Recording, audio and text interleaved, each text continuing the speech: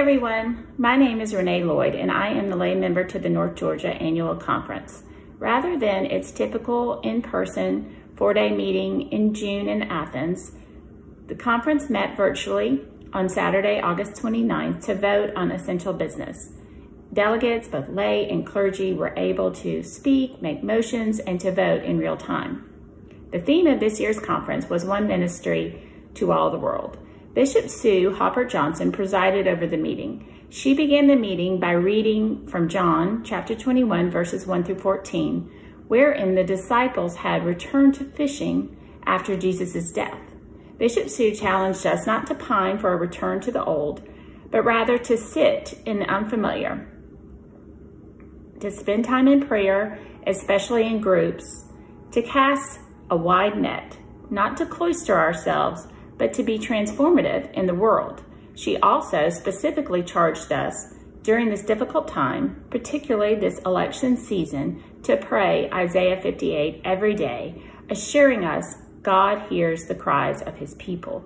She pleaded for us to speak out for the poor and those who are hurting, inasmuch as God will respond and pour out all the power of heaven to save his people. Bishop Sue closed with prayer, quoting Corrie ten Boom, as often quoted during this season by Pastor Steve, never be afraid to trust an unknown future to a known God. Prior to the session, the clergy executive session met and elected 12 provisional elders, including our very own Reverend Robin Parr, of whom we are very proud and for whom we are very grateful, as well as three deacons in full connection and five elders in full connection. Another major item of business was the vote to streamline the districts in the conference to allow for more funding to churches and to provide uniformity. The vote was approved, condensing the existing 12 districts to eight which will follow county lines and balance the population and the number of churches. This new structure will save the conference an estimated $1 million annually. DUMC is now part of the Northeast District, along with all the other United Methodist churches in Lumpkin, Dawson, Habersham, Hall, Hart, Forsyth, Franklin, Jackson, Madison, Rabun, Stephens, Towns, Union, and White counties. Moreover, the 2021 proposed budget of 16.98 million was approved, reflecting a decrease of 19.1% or $4 million from last year. The conference also approved sending the same lay and clergy delegates previously elected for the 2020 General Conference, which, which was postponed, to the rescheduled General Conference now set to be held in Minneapolis on August 29 through September 7th of 2021.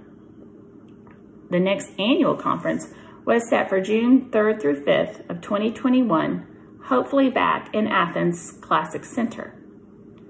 In closing, conference lay leader Bill Martin remarked that we have left our church buildings and discovered in the process that the church is so much more than a building.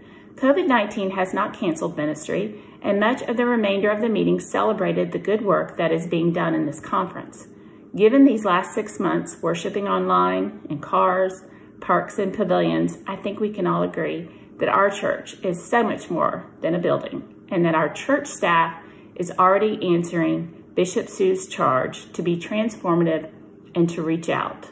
Her charge was not just to our church staff, however, it is for all of us. I can't help but be reminded of a song sung every year in Gospel Jam during Bear on the Square. The song is sung by Neil Pender, and it's called I'm Working on a Building. I will spare you my singing, but I was able to find a clip of it that I would like to share with you.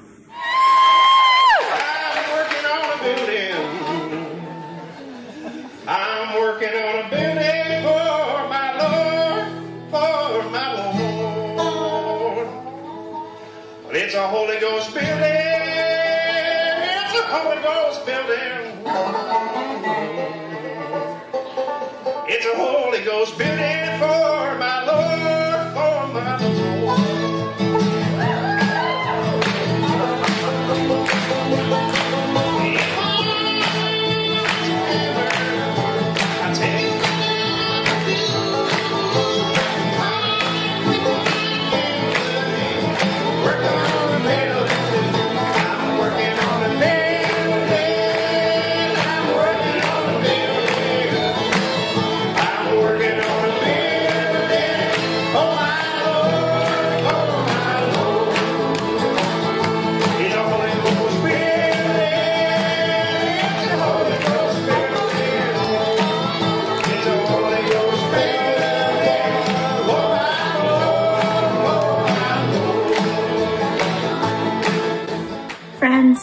not the building on Park Street, but us that are Holy Ghost buildings, for our Lord, for our Lord.